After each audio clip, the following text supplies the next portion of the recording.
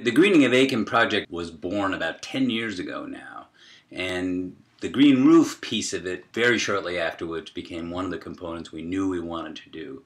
And given that with the School of Natural Resources, we wanted to not only have a green roof, but because we do a lot of research in the building, we wanted to make a research component to it. It's actually eight separate green roofs that are separately monitored, and that allows us to change the plant types and change the soil types so that we can better learn what combinations of plants and soil do a better job of fulfilling the good things for the green roof supply. Stormwater management is the major one. And basically they absorb some of the water which reduces the peak flows and therefore reduces erosion going into uh, streams nearby and such.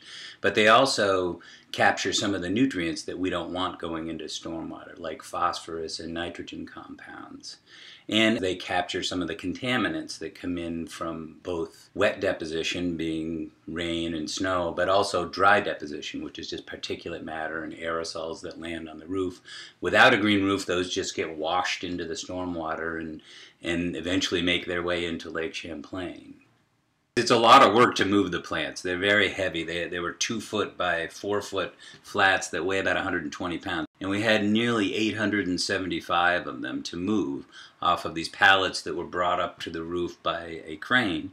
And so we needed help. Usually we had at least about 10 students, but on Friday we had about 30 students up there. And it was really exciting. And they loved it. They really loved being up there actually doing it, you could tell. I mean, they were anxious and, and happy and, you know, just going for it. It was, it was fun to watch them.